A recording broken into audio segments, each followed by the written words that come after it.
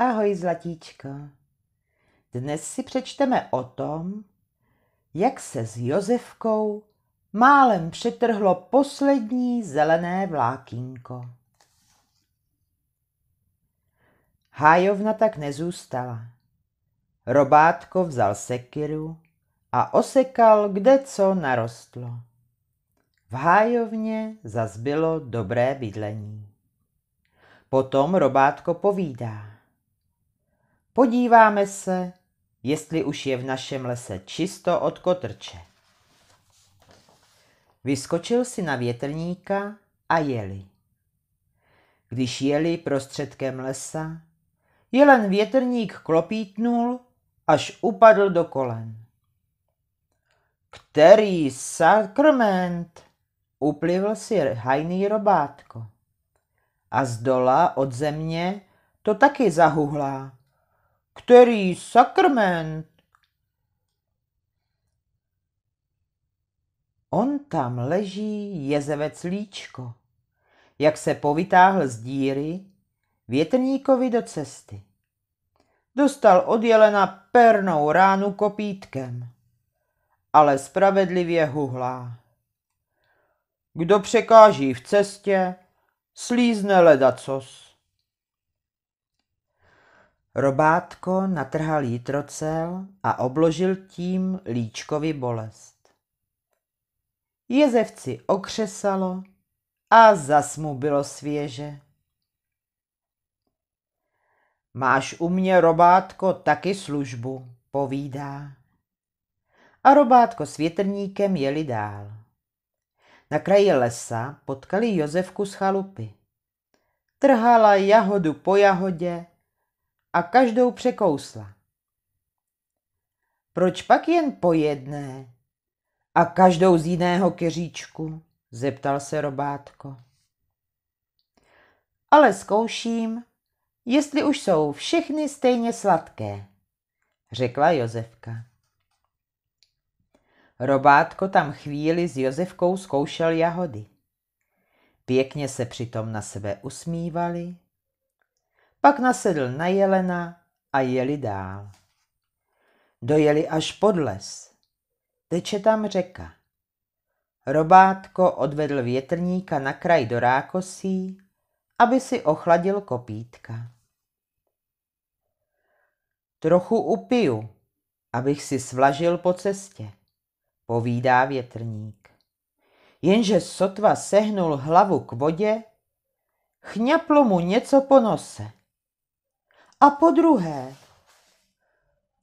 Do třetice se podívám, povídá robátko. A v rákosí sedí vodník, už od podívání paďousa vsteklík. Jak ti říkají? zeptal se robátko. Barbora, řekl skřípátkovým hlasem vodník. A mám proto vztek. Co pak jsem ženská? Co to říkal? Vyvrátil několik puškvorců a přetrhl rákos. Ty jsi mi pěkný divous, pokýval hlavou hajný robátko. Vyvedl větrníka z rákosí do sucha a odjeli. Vodník Barbora za nimi hodil křemínkem a dál se zlobil a vstekal, až šly vlny od břehu k břehu. V tu chvíli přišel k řece pan Kotrč. Dívá se na Barboru, jak ze zlosti míchá řekou a v kotrčovské hlavě se mu líhne černý nápad. Poslyš, já bych na tvoji zlost věděl lék, povídá. Barbora jen zaskřípal z pohrdání. A pan Kotrč dál. Kdybys tu k sobě měl hospodyňku na všecku ženskou práci, zapomněl bys, že se jmenuješ jako ženská. To bych zapomněl. Ale kde jí vzít? a Barbora vyjel až na kraj vody, aby dál bylo všechno tajně. Já bych o jedné věděl, šeptá mu do žabího ouška pan Kotrč. Je to Josefka, co na kraji lesa zkouší jahody. Tu řečí neobloudím, zaskřípal Barbora. A co kdybys zkusil perličky? Šeptá už docela tajně kotrč. Barbora vjel do vody a dost hluboko, kde měl své nejcennější věci. Za chvíli byl zpátky s plnými hrstmi perliček. Na tu krásu bys nalákal samotnou královnu, řekl pan Kotrč a ukryl se za skalku na břehu, aby ho nikde nepřesahovalo. Vodník Barbora se vydal k lesu. Od lesa zas zpátky k řece. Přitom za sebou trousil do trávy perličku za perličkou. Je políčeno a jemně, řekl panu Kotrčovi za skalkou. A položil poslední, největší a devítibarevnou perličku na břeh nad hlubinou. Sám se spustil na dno tůně načíhanou. Josefka zatím zkoušela jahodu po jahodě. A v tom jí místo jahody uvízne v prstech perlička. Chvíli ji kutálela po dlani. Pěkná je, jenže co s ní? Z jedné si šňůrku nenavlíknu. Už chtěla perličku skutálet zpátky do trávy.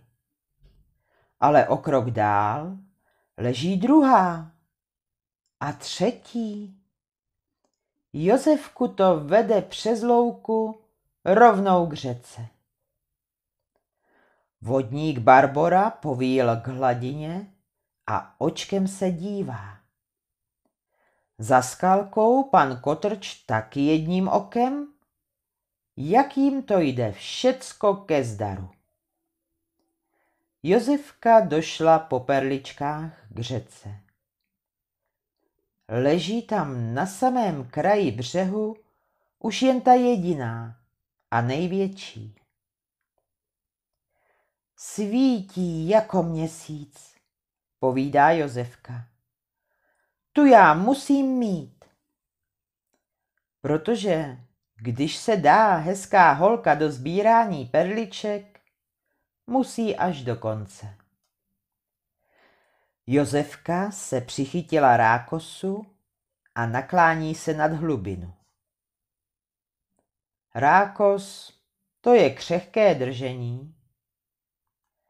Pan Kotrč za skalkou čaruje Josefce hory bundum. Vodník Barbora už má pro Josefku náruč nachystanou.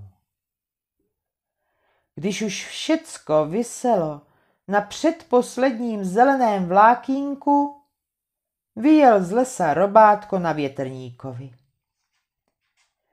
Ve vteřince jsem u tebe, Josefko, křikl robátko a žene větrníka k řece, až mu zadní kopítka předbíhají přední. Jenže to už všecko vyselo na posledním zeleném vlákínku. Nedojedeme, povídá robátko. Tu vyskočí z houští jezevec líčko. Běžím s oplátkou, zavolal na robátka. A vrazil do pana Kotrče takovou jezeváckou silou, že sletěl do tůně. Vodník Barbora sklapl náruč. Mají plnou kotrčovské kulatosti. Chvíli se tam v tůni s kotrčem mlel a pak ho vystrčil. Pan Kotrč z velkého domu se jako balón nese dolů řekou. Tak poplave tři neděle až do třetího moře. Dobrou noc a sladké sny.